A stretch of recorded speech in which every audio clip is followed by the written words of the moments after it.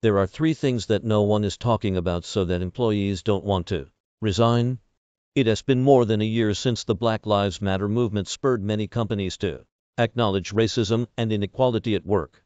And in that time, diversity, equity, and inclusion organizations like the one I work for, InHerSight, have seen a huge uptick in employers interested in attracting and retaining talent from underrepresented backgrounds.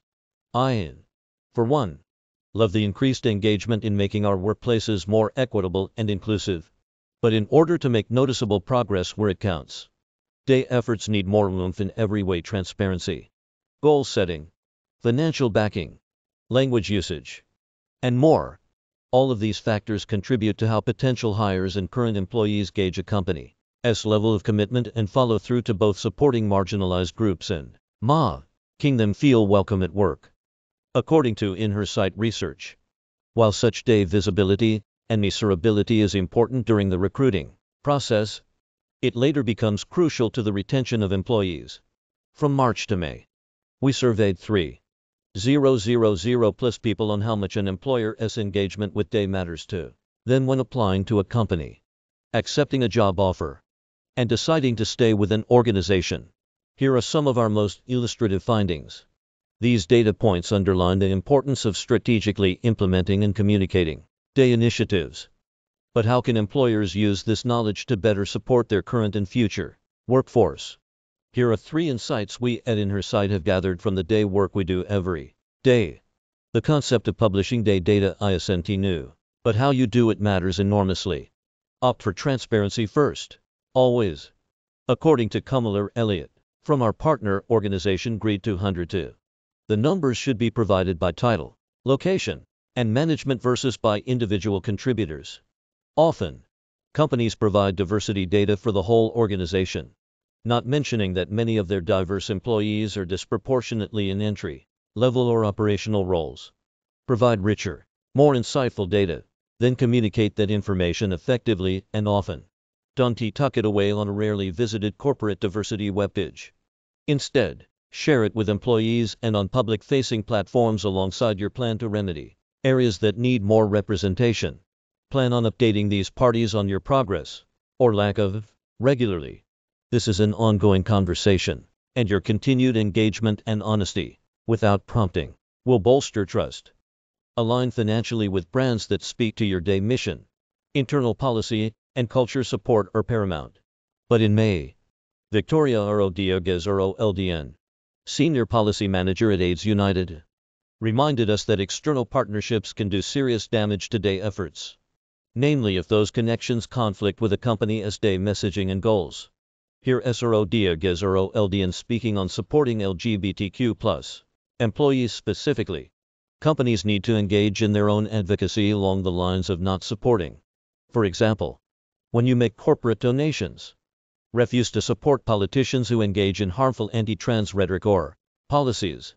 If you are supporting harmful anti-trans politicians, you are in the end harming your trans employees and even harming your own ability to retain them. Instead, Use your money to underline your commitment to diversity. Take it. In the past 51 years, the telecommunications company, which has a long running supplier diversity program, has spent over $187 billion with businesses owned by certified minorities, women, service disabled veterans, LGBTQ plus people, veterans, and people with disabilities. Does seeing that kind of commitment to community support matter to employees? Absolutely. It is time to refresh our approach to DEI messaging. Starting with readability. One of the benefits of working at a DEI focused company is that I read DEI statement after DEI statement from organizations of all sizes. The common flaw. Many rely heavily on vagueness and attempt to play it safe. No doubt and end up skirting the issues they were trying to solve. Blanket statements like we ensure all employees feel welcome here don't mean anything, especially if they beg other questions. How do you know they feel welcome? What do you do to foster that feeling? How would you respond if someone did and feel welcome? These questions linger after a simple seven-word sentence. Try approaching messaging this way. Instead of over-promising or empty promising, stick with plain, informed, and actionable language. If talking about race, gender, or other diversity issues at your organization feels uncomfortable to you. Consider that you feeling comfortable isn't a requirement. Thoughtfulness, empathy, and transparency are. Regardless of the reason for the message, the end goal is for every person reading it to understand your values and how you plan to live up to them. Beyond readability. Remember, 2.